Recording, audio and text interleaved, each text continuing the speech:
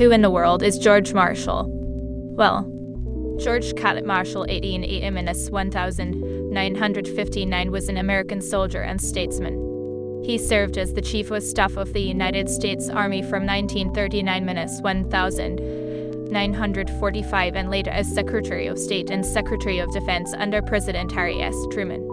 He was a key architect of the post war rebuilding of Europe through the Marshall Plan and is considered one of the most important figures of the 20th century.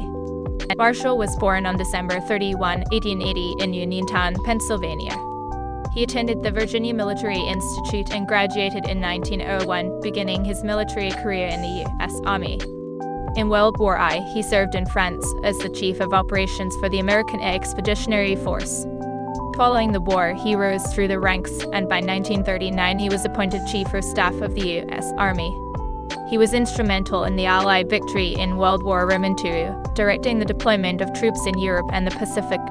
At the end of the war, Marshall was appointed Secretary of State and helped create the Marshall Plan, which provided aid to European countries to rebuild their economies and foster European integration. In 1950, he was appointed Secretary of Defense and oversaw the Korean War.